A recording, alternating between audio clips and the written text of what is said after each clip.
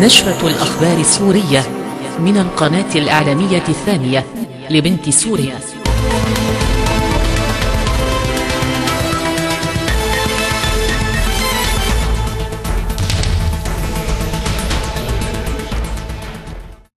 التقت قوات الجيش السوري المنطلقة من محور عياش والبغيلية في ريف دير الزور الغربي بالقوات الموجودة في ريف بلدة معدان بالقرب من تلة معدان في ريف الرقة الشرقي.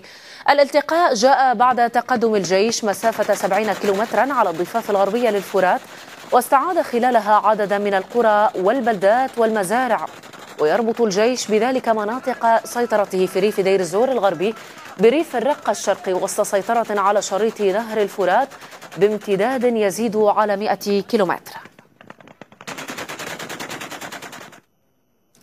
الجيش السوري وحلفائه في محور المقاومة كانوا قد حرروا بلدة خشام جنوب شرق قرية مظلوم في ريف دير الزور الشرقي وقرى حلبية وزلبية والقصبي ويتابعون التقدم باتجاه معدان في ريف دير الزور الغربي.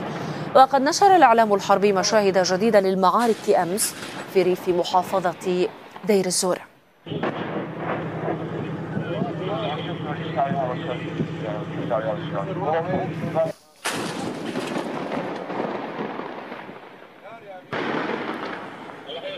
لا لا طويلي طويلي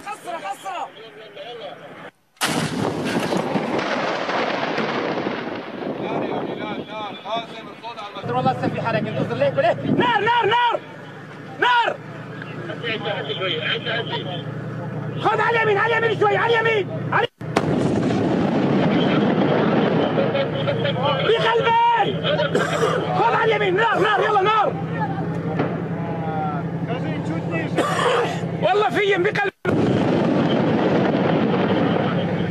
فيا فيا بعد كويس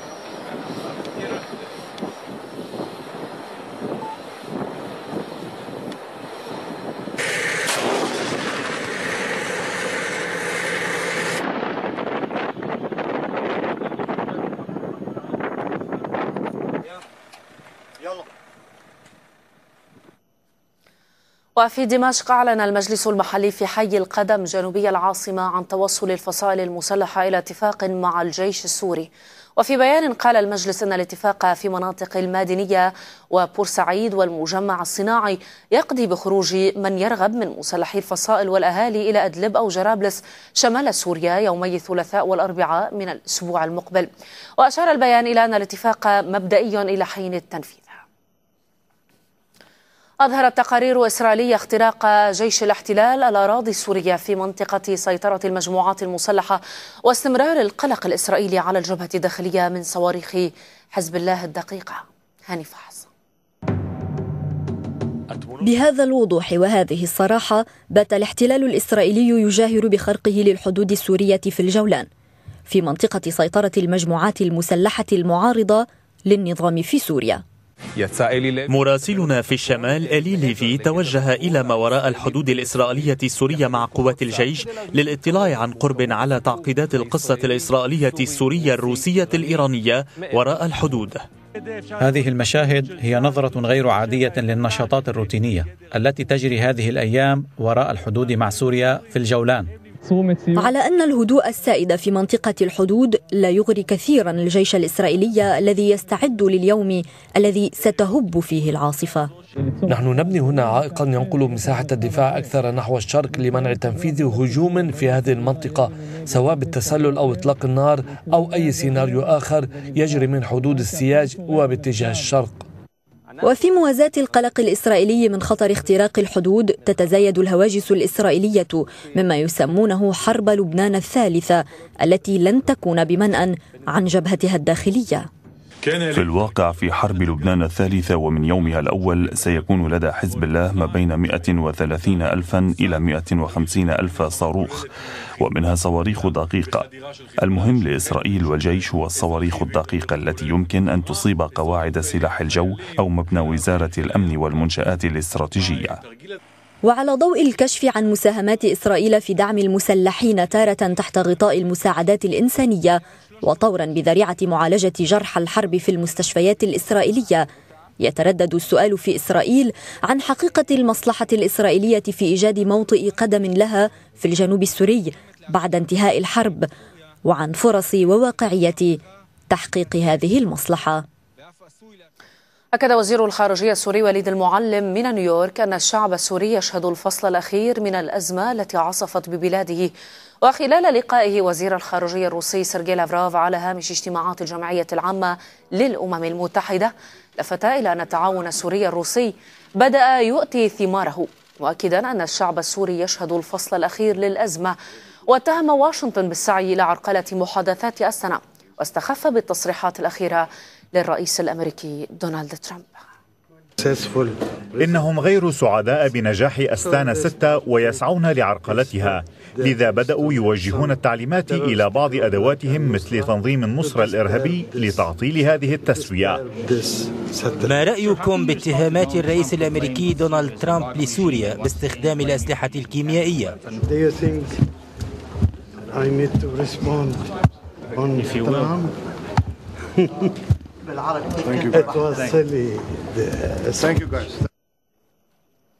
وزير الخارجية الروسي سيرجي لافروف قال أن بلاده أبلغت واشنطن أن محاولات عرقلة محاربة الإرهاب في سوريا لن تبقى من دون رد.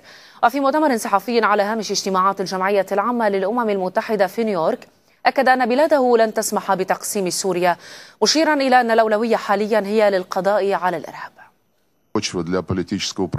يجب أن نقضي على الإرهاب أولا وعندما يتعلق الأمر بوحدة الأراضي السورية علينا أن نقول ما يلي. لا يسعنا السماح بتقسيم سوريا لأنه سيفضي إلى ردة فعل انشطارية تشمل مختلف أرجاء الشرق الأوسط وهو هدف يرغب البعض في تحقيقه. أقصد الذين يريدون نشر الفوضى التي تخرج عن السيطرة. الفوضى سادت طويلا حتى الآن. لافروف أكد ضرورة انسحاب جميع القوات الموجودة في سوريا بشكل غير شرعي أي من دون إذن من دمشق فور القضاء على الإرهاب. وشدد على أن بقاء الجهات الموجودة في سوريا بدعوة من حكومة البلاد تقرره القيادة السورية نتيجة العملية السياسية. بالنسبة إلى المقاتلين الأجانب هناك وجود شرعي بناء على دعوة رسمية من حكومة رسمية عضو لدى الأمم المتحدة وهناك حضور غير شرعي للتحالف الأمريكي. وهناك قوات خاصة من عدة دول لم تدعها الجمهورية العربية السورية. تعمل على توجيه أفعال المعارضة. وبعد إزالة الإرهاب وإنني جدي في ذلك سوف نتخلص من كل من ليس له صفة شرعية هناك. أما الذين لهم وجود شرعي فمصيرهم تحدده الحكومة. الشرعية السورية في إطار عملية سياسية. وفي نيويورك أيضا بحث وزير الخارجية السوري جهود مكافحة الإرهاب مع نظيره الإيراني محمد جواد ظريف. وعقب الاجتماع أشاد ظريف بانتصارات الجيش السوري متهما واشنطن بالسعي إلى عرقلتها. بحثنا الإنجازات التي تحققت ضد داعش والحاجة إلى مواصلة محاربة الإرهابيين والمتطرفين فضلا عن السماح بإيصال المعونات الإنسانية بكميات أكبر إلى سوريا. إننا سعداء بأن الحكومة تمارس سلطتها في مناطق خفض التصعيد. وبأن الكثير من النازحين يعودون إلى ديارهم. ونأمل أن يهب المجتمع الدولي لتقديم المساعدة للشعب السوري من أجل عودته إلى الحياة الطبيعية وهو الشعب الذي عانى الكثير على أيدي المتطرفين. داعش والنصرة مصنفان دوليا كمنظمتين إرهابيتين وينبغي التصدي لهما بشكل مشترك من جانب المجتمع الدولي. وأعتقد أن ما يجري من نصر على داعش في دير الزور مهم وإننا قلقون حيال أسلوب تعامل الولايات المتحدة مع هذه القضية لأنها تعرقل الجهود في التصدي لداعش ومن المهم التعامل مع النصرة حيث هي فاعلة.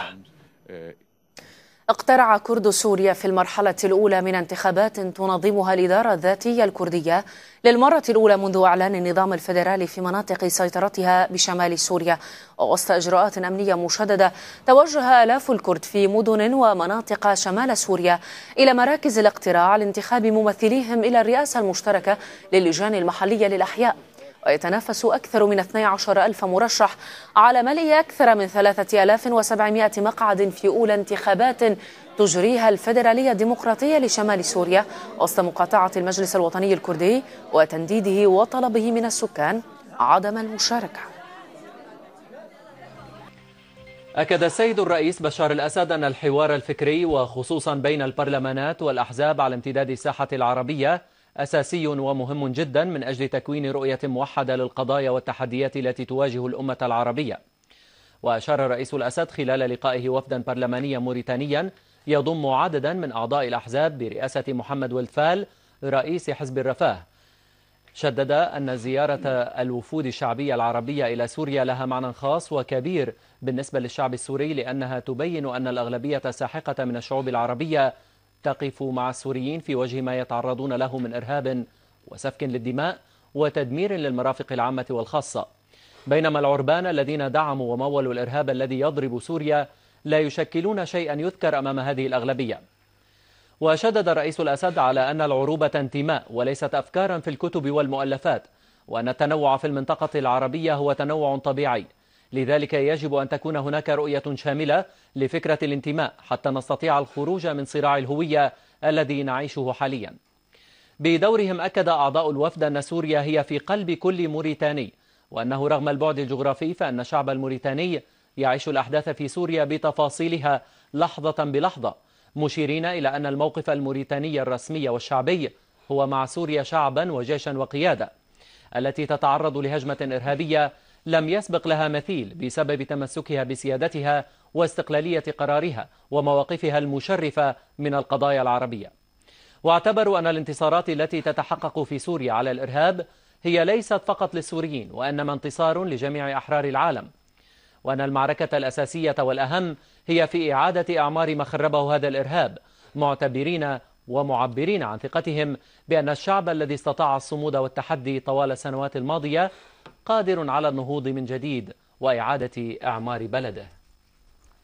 أكد نائب رئيس مجلس الوزراء وزير الخارجية والمغتربين وليد المعلم في كلمة سوريا أمام الدورة الثانية والسبعين للجمعية العامة للأمم المتحدة. أكد الوزير المعلم أن سوريا مصممة أكثر من أي وقت مضى بتضحيات جيشها وصمود شعبها على اجتثاث الإرهاب من كل بقعة على الأرض السورية. مشيرا إلى أن سياسة الدولة السورية قامت منذ البداية منذ بداية الحرب على ركيزتين أساسيتين هما محاربة الإرهاب والعمل الجاد والمتواصل بهدف إنجاز حل سياسي يوقف النزيف ويعيد الاستقرار. وأضاف المعلم أنه على الجميع أن يدرك أن الإرهاب والفكر المتطرف التكفيري الذي بني عليه سيبقى داء سرطانيا ينخر في جسد العالم وكابوسا جاثما على صدور جميع الشعوب طالما لم تتوفر الإرادة الحقيقية والرغبة الصادقة لدى الجميع لمحاربته.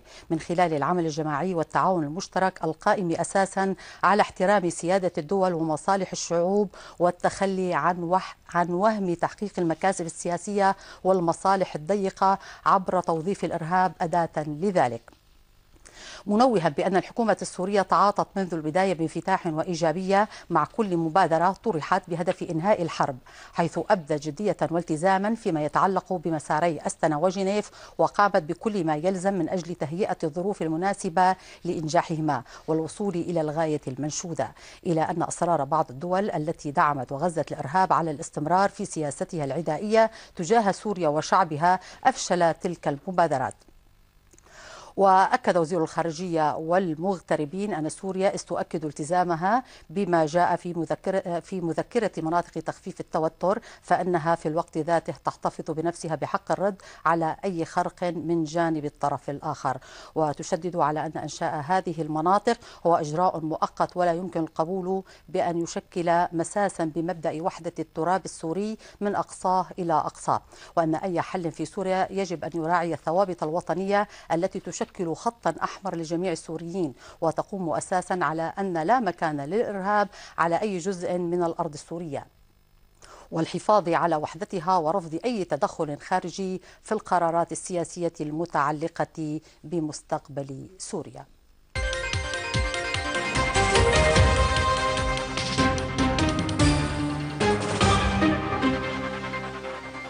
ميدانيا فرضت وحدات من الجيش العربي السوري سيطرتها الكاملة على قريتي معدان عتيق ومظلوم في ريف دير الزور.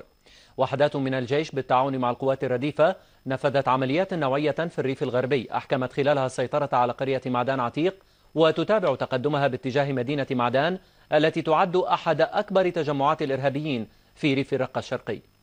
وعلى الضفة الشرقية من نهر الفرات فرضت وحدات من الجيش بالتعاون مع الحلفاء سيطرتها بالكامل على قرية مظلوم وعلى بعض النقاط في بلدة خشام بعد اشتباكات عنيفة مع إرهابي داعش سقط خلالها العديد منهم قتلى ومصابين.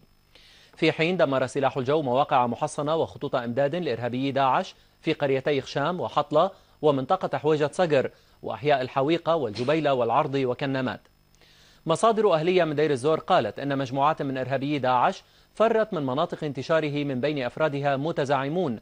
عرف منهم ما يسمى مسؤول العلاقات العامة لدى التنظيم عمر الحجي وأمير مشفى الخير زياد عيدان الصالح وأحد أمراء التنظيم في قطاع حويجة صقر عبد الحميد. توفيق.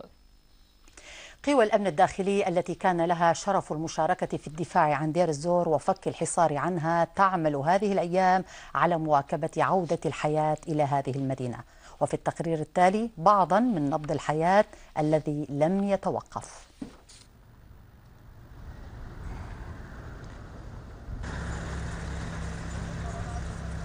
الحمد لله رجع الأمن والأمان على دير الزور. ورجعنا على مهامنا وعلى نقاطنا.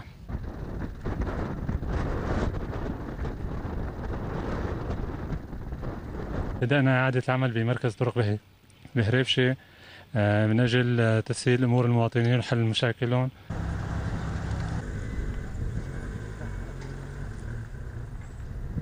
مدير الشؤون المدنيه مثل ما عودت أهالي دير الزور ما قصرنا مع حدا إن شاء الله وإن شاء الله بالمرحلة القادمة راح يكون السرعه تقديم الطلبات أو تقديم الخدمات للأخوة المواطنين بشكل أسرع وأسلس من قبل. بعد ما يتم إصلاح الكابل الضوئي وتتوفر الكهرباء راح يتم إنجاز معاملات الجوازات هون بفرع الهجرة والجوازات آه، وبافتتاح مكتب الإصدار وتتم المعاملة كاملة هون بدير الزور، المواطن بيبصم خلال آه، فترة آه، أسبوع بياخذ جواز سفر إذا كان في حال جواز سفر عادي بالرسم العادي وفي حال جواز سفر بالرسم المستعجل ممكن خلال يوم أو يومين بيستلم جوازه مثله مثل أي محافظة ثانية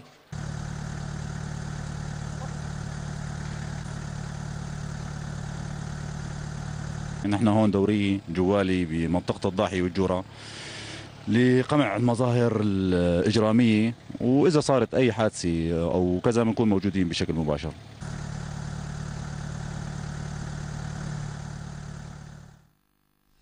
الحالة الأمنية المستقرة انعكست إيجابا على أسواق مدينة دير الزور التي امتلأت بالسلع والمواد الغذائية ما أدى إلى زيادة نسبة الشراء وكسر حالة الاحتكار نتيجة ضخ السلع. عاد نبض الحياة إلى مدينة دير الزور بعد فك الحصار عنها. أسواق المدينة تغير مضمونها عن السابق بامتلائها بالمواد الغذائية والمستلزمات. والله كل شيء متوفر الحمد لله وإن شاء الله دوم يظل الخير موجود. هبوط الأسعار نتيجة ضخ السلع في شارع الوادي أدى لزيادة نسبة الشراء وكسر حالة الاحتكار التي كانت سائدة خلال فترة الحصار. تغيير جذري صار. شايف أخوي؟ الأسعار فرقت كثير. كان ينزل ب 10000 ورقة. ما تكفي. ال 1000 1500 تكفي. التفاح قبل ما ينفتح الطريق كان عندنا الكيلو التفاح ب 4000 الساعة اليوم عندنا كيلو تفاح ب 400 أشتري باذنجان الحمد لله الأسعار رخيصة ومناسبة يعني. الإنسان الدرويش مناسبة له يعني. نزلت الأسعار يعني 10 أضعاف نزلت عن اولي 15 ضعف زيادين الحمد لله بفضل الله سبحانه وتعالى بفضل الجيش العربي السوري اللي حرر لنا البلد فتح لنا الطريق. الحمد لله رب العالمين. كثر الله ألف خيرهم اللي خطى الخطوة وبذلها بالأسواق. الساعة ما شاء الله شوفت عينك. على البسطات البصل ب 200 الباذنجان ب 125 بندورة ب 200 الرقابة التموينية على الأسعار كان لها دورا في تقييد وتوحيد أسعار المواد والخضروات والفواكه. هناك كما قلنا آه، توجيه من الحكومة. اولا بإغراق الأسواق بكافة المواد. مراقبة الأسعار. عندما يكون هناك مواد كثيرة حسب العرض والطلب فأكيد تكون الأسعار بالنسبة بالحد الأدنى. مراقبة الأسعار ومدى ملائمتها للمواطن من ناحية دخله وأيضا لمدى توفرها، والحمد لله المواد متوفرة جدا وبأسعار مناسبة والتوجيهات هي بمتابعة الرقابة عليها عن طريق الجهات المختصة وإن شاء الله سوف نبقى متابعين ونتابع إذا ظهرت أي حالة خلل سوف يتم متابعتها. لم تعد مؤسسات السورية للتجارة تشهد ازدحاما على نقاط البيع كسابق عهدها نظرا لتوفر السلع في الأسواق والتدخل الإيجابي للحكومة لإعادة الحياة إلى المدينة. يعني أفضل من أول بكثير يعني فهمت شلون؟ والحمد لله أسعار المؤسسة يختلف عن سعر السوق؟ إيه طبعا.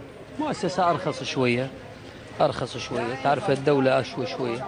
والحمد لله الألوان المختلفة الموضوعة في أسواق دير الزور لونت الحياة فيها وأعادت إلى أهلها الفرحة وأنهت فترة زمنية طويلة من الحرمان. مصعب أبو العيش التلفزيون العربي السوري دير الزور. متابعة للوضع الخدمي مشاهدينا الكرام معنا من دير الزور مراسلنا مصعب أبو العيش. مساء الخير مصعب. مساء النور وائل. تحية لك. لاحظنا من خلال التقرير قبل قليل أن هناك حالة من الارتياح لدى المواطنين في دير الزور تحديدا في الأسواق في الحركة في الأسعار. السؤال هل سجلت الجولات الميدانية للأسواق أي خروقات من قبل التجار؟ بشكل أساسي؟ نعم. وائل يعني من الملاحظ عودة الحياة إلى أسواق دير الزور إلى مدينة دير الزور بعد فك الحصار عنها. يعني إن تحدثنا عن الخروقات لا يوجد أي خروقات كون يعني هناك رقابة تموينية من قبل المعنيين من قبل مؤسسة التجارة من قبل مديرية التموين في دير الزور بالتالي على الأسعار وتحديد هذه الأسعار في أسواق المدينة. وطبعا يعني دير الزور لا يوجد بها سوى سوق واحد هو سوق الوادي معروف في مدينة دير الزور في المناطق التي يسيطر عليها الجيش العربي السوري. طبعا يعني لاحظنا من خلال من خلال التقرير الذي قدمناه اليوم يعني أسواق مدينة دير الزور مكتظة ب مكتظة بالمواد الغذائية بالسلع الغذائية بالخضروات بالفواكه باللحوم. يعني نتحدث عن رخص كبير في الأسعار. عودة الحياة إلى سابق عهدها ان لم يكن أرخص من ذلك. يعني نتحدث عن عن كيلو اللحم الضأن ب 3000 ليرة سورية بالتالي أقل من سعر العاصمة. يعني هناك رخص كبير في مدينة دير الزور وارتياح من قبل المواطن بهذا بهذه الأسعار. أيضا يعني هناك يعني تدخل إيجابي من قبل الحكومة من قبل المؤسسة السورية للتجارة عبر ضخ المواد الغذائية في منافذ التوزيع. يعني كانت مع بداية الحصار كان هناك قافلات حكومية حتى هذه اللحظة طبعا بشكل يومي هناك قافلات حكومية تمضخ هذه المواد في مؤسسات الخزن والتسويق في مؤسسات السورية للتجارة. بالتالي يعني كان هناك كسر لحالة الاحتكار التي كانت سائدة خلال فترة الحصار. وبالتالي يعني يعني تشهد مدينة دير الزور ارتياح كبير من قبل توفر المواد الغذائية وإنهاء حالة الاحتكار. يعني أيضا أتحدث اليوم عن جهود حكومية لوصول القافلات لتوزيع المواد الغذائية. أيضا هناك توزيع مجاني للمواد الغذائية لأبناء دير الزور إن كان من مادة البيض من الخضروات من الفواكه بشكل مجاني توزع للأهالي عن طريق البطاقات العائلية. وطبعا كل هذه هذه المواد المجانية يعني طبعا بعد تشكيل لجنة إغاثة فرعية بدأت عملها بتوزيع هذه المواد لجميع الأسر في مدينة دير الزور عبر دفاتر العائلة والبطاقات المخصصة. أيضا هناك توزيع للمواد المقدمة من منظمة الهلال الأحمر العربي السوري لأهالي دير الزور وأيضا يتم توزيعها مجانا وبشكل يومي بعد تقسيم الأحياء وعن طريق البطاقات التي يقدمها فرع الهلال الأحمر بدير الزور وهي عبارة عن سلل غذائية ومواد صحية وعبارة أيضا عن أكياس من الطحين تقدم لأهالي مدينة دير الزور تباعا وبشكل دوري للأهالي. أيضا يعني هناك اليوم تم توزيع مواد غذائية وسلل غذائية وخضروات لأهالي دير الزور مقدمة من الشعب الإيراني بعد وصول قافلة تحمل عشرة ألاف طن من المواد الغذائية يعني يتم توزيعها الآن. يعني بداية تم توزيعها للدوائر الحكومية والمؤسسات واليوم تم توزيعها للأهالي لتصل لكافة الأسر. أيضا يعني هناك وصلت قافلة من الأدوية من منظمة الصحة العالمية. تم رفض مديرية الصحة بدير الزور بهذه الأدوية. أيضا يعني تم إدخال الأدوية إلى المشافي والمراكز الصحية بالتالي لتقديمها بالشكل المجاني. للمواطنين في مدينة دير الزور. أيضا يعني لابد أن أتحدث إن عن يعني التغير الملاحظ بأسواق مدينة دير الزور بالحياة في مدينة دير الزور يعني أيضا هناك العمليات العسكرية التي يخوضها الجيش العربي السوري في محيط مدينة دير الزور يعني ليس فقط لابد أن نشير أنه ليس فقط انعكست على واقع الحياة والحالة المعيشية في مدينة دير الزور إنما أيضا انعكست على الحالة النفسية زميل وائل على الحالة النفسية لأبناء دير الزور يعني مع كل خطوة يتقدم من خلالها الجيش العربي السوري هناك حالة نفسية مرتفعة لأهالي دير الزور يعني بغية العودة والأمل الذي في نفوسهم للعودة إلى منازلهم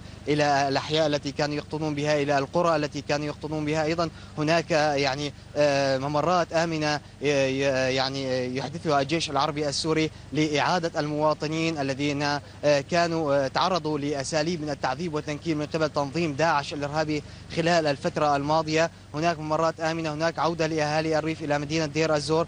أيضا يعني بالحديث أيضا عن عودة الحياة إلى مدينة دير الزور. يعني هناك مساعي حكومية لعودة الموظفين الذين وضعوا أنفسهم تحت التصرف في بقية المحافظات. هناك مساعي حكومية ومطالب من مدراء الدوائر ومن محافظ دير الزور لعودة الموظفين خلال زيارة وزير الإدارة المحلية في الأيام في الفترة الماضية وطالبوا بعودة الموظفين. يعني الهدف هو إعادة الحياة وإعادة تأهيل المؤسسات والدوائر الحكومية في دير الزور من خلال عودة الموظفين ورفض هذه الدوائر بالكوادر الإدارية والفنية. بالتالي يعني تم تشكيل لجنة لعودة الأهالي عودة الموظفين يعني طبعا بشكل إسعافي اليوم تحتاج كل دائرة ل 25% من عامليها من من لديهم سكن داخل مدينة دير الزور حاليا. نعم بالتالي صح. العودة يعني تعني عودة الحياة إلى مدينة دير الزور وتأهيل البنى التحتية. أيضا كان هناك زيارة لمدير عام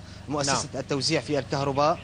نعم. نعم كل الشكر لك مراسل الأخبار مصعب نعم. أبو العيش. كنت معنا مباشرة من دير الزور والحالة النفسية المريحة التي يعيشها أهل دير الزور حقيقة يعيشها كل المواطنين السوريين على امتداد الجغرافيا السورية ومع تحقيق مزيد من انتصارات الجيش العربي السوري هناك.